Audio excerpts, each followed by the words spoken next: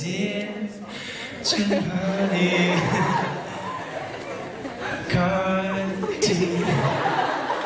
Happy birthday to you. There you go.